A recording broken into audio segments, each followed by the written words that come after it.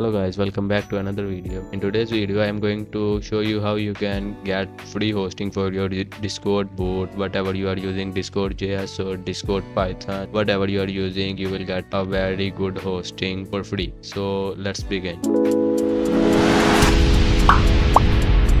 Okay, so firstly go to the Google and search for the HidenCloud and you will get this link. I provided the link in the description so you may go from there and and then after that uh, create a new account uh, with Google. And after that you will need to fill the information like address uh, so fill it properly and then save it. And after that you will see this interface. From this interface simply connect your discord account with this website. And after that uh, go back to the main page the dashboard one. And after that uh, create a new service. And uh, in the new service select the free hosting. And after that uh, select the location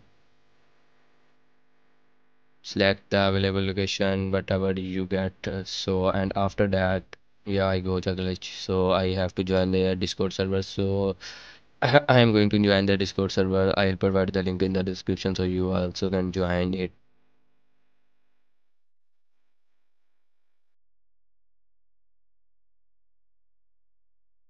Uh, just put their details uh,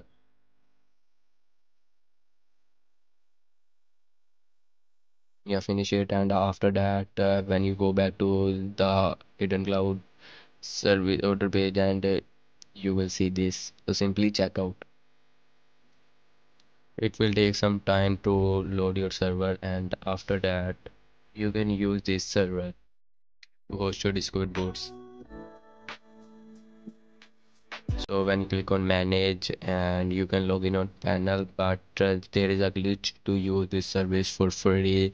You will have to come back after six days to renew this service. Otherwise they will terminate your server and uh, your data will be lost. So just come back after six days and just click on renew and then it will be okay and you can use for more six days seven days and again you will come back after six days. And now you go to the panel and uh, you can use this service. Uh, yeah this service. As you can see they provide a lot of resources